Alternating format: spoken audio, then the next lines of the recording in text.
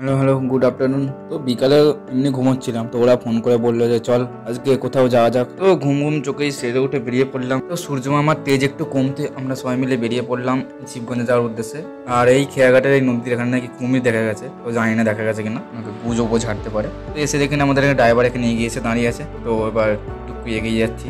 গঞ্জের দিকে। তার আগে কিন্তু আমাদের গাড়িতে পেট্রোল ভরে নেওয়াটা দরকার, কারণ গাড়ির পেট ভর্তি থাকলে তবেই গাড়ি ছুটবে। তো পেট্রোল ভরা হচ্ছে, এদিকে সূর্য কী জানি গাড়ির সঙ্গে কথাবার্তা বলছে নিয়ে নিয়ে দেখছি পেট্রোল ঢুকেছে কিনা, আদৌ পেট্রোল ভরে এখন চলেছি শিবগঞ্জের রাস্তায়। আর এসে দেখি না মেন জেটির এটা বন্ধ। সামনে দিকটা নাকি ভেঙে গেছে, ওই জন্য বন্ধ। তো আমরা সাইড দিয়ে অন্য যেটি যেটি আছে পুরোনোটা ওখানে যাচ্ছি। তো ওখানে এসে সত্যি বলতে নদীর ধারের এই যে মানে হাওয়াটা না, ঠান্ডা হাওয়া, আলাদাই লাগে। চলো, ও সন্ধ্যা হয়ে গেছে, ভাই, বাড়ি যাওয়ার পালা। আর দেখো ট্যালেন্ট কাকে বলে? টাকার মতো ট্যালেন্ট থাকা দরকার। আর নাকি, এখন চৈত্র সেল চলছে। তো ভাবলাম চৈত্র সেল যখন চলছে, তখন একটু কেনাকাটা করাই যাক। তো এরকমই ঘুরে আর হালকা শপিং করে চলে আসি বাড়ি। আবার দেখা হচ্ছে পরের ভিডিওতে। তখন টাটা।